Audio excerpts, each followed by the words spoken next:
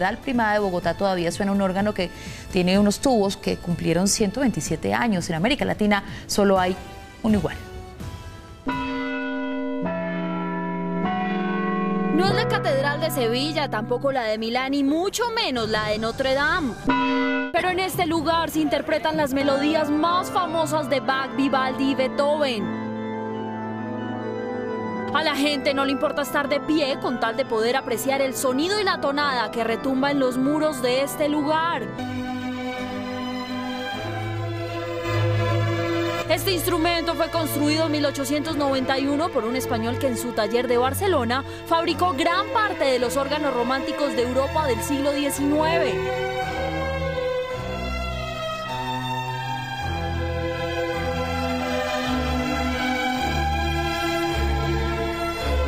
El instrumento de 20 toneladas llegó a la Catedral Primada de Bogotá después de un viaje cruzando el mar hasta llegar al puerto de Barranquilla. Viajó luego por el río Magdalena hasta Honda y de allí en Mula hasta la capital. Por ausencia de organeros, el instrumento se empezó a deteriorar. Fue hasta 1965, con la llegada del Papa Pablo VI, que contrataron a un ingeniero alemán quien lo restauró.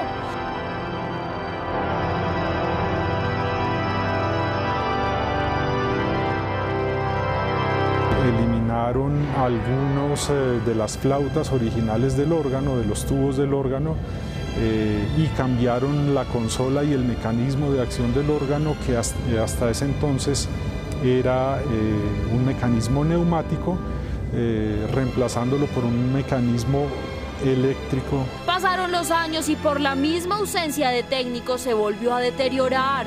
Fue hasta el año 2012 que por iniciativa de la Arquidiócesis de Bogotá y el Ministerio de Cultura decidieron restaurarlo. Y uno de esos tesoros es este órgano. Es una verdadera joya musical, ¿no? Eh, es de los más importantes de toda América Latina.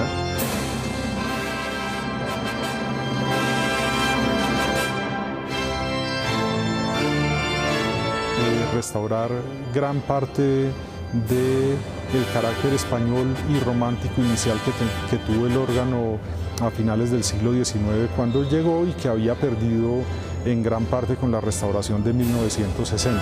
Este proceso duró más de dos años con elementos traídos de Barcelona y costó 2.515 millones de pesos. En junio de 2016 se realizó la ceremonia de reinauguración.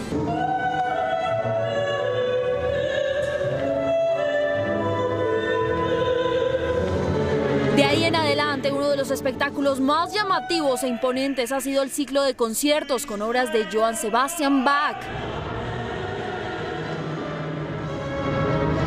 La catedral tiene una capacidad de mil personas sentadas. Durante estos conciertos, 1.700 personas atentas e ilusionadas estaban en el recinto para escuchar las melodías de Bach, interpretadas en el órgano que tiene cerca de 130 años en el país.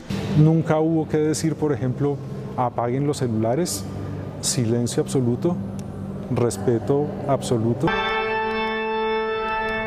Expertos aseguran que un órgano como este puede costar entre 3 y 5 millones de dólares, es decir, una cifra cercana a los 15 mil millones de pesos. Sin embargo, Mario asegura que este ya no tiene un valor monetario por su carácter patrimonial.